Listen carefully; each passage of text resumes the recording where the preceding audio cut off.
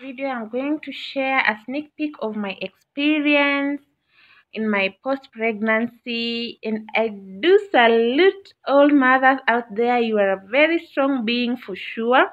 Sasa hii ni about weight gain and weight loss.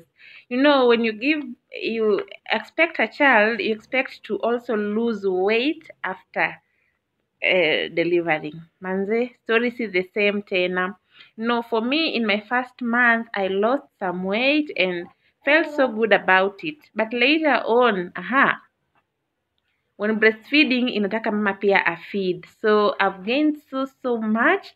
But you know for me nasemanga hakuna matime ya kukatch my feelings. When god blesses you with a baby all you need is actually just to do what?